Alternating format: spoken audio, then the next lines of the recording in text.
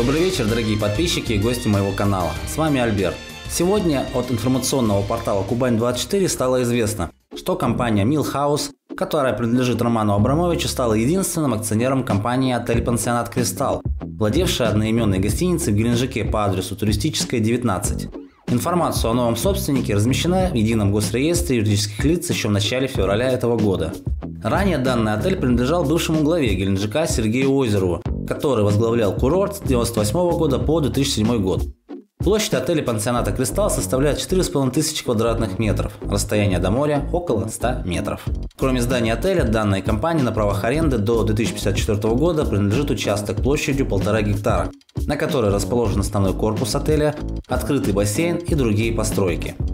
Рыночная стоимость недвижимости около 350-450 миллионов рублей, пишет РБК Краснодар. В одном из роликов я уже рассказывал, что в декабре прошлого года Роман Абрамович приобрел в собственность территорию стадиона «Спартак», расположенного на улице Кирова в Геленджике. Сейчас мы можем реально наблюдать, как огромные куски недвижимости в Геленджике начинают распродавать крупным акулам бизнеса. Пока Абрамовичу, потом может еще кто-то подключится.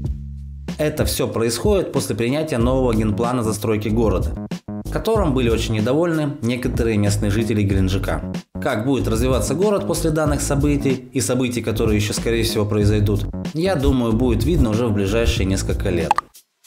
А на этом все. Подписывайтесь на канал, бейте в колокол, чтобы не пропустить свежие видео. До свидания.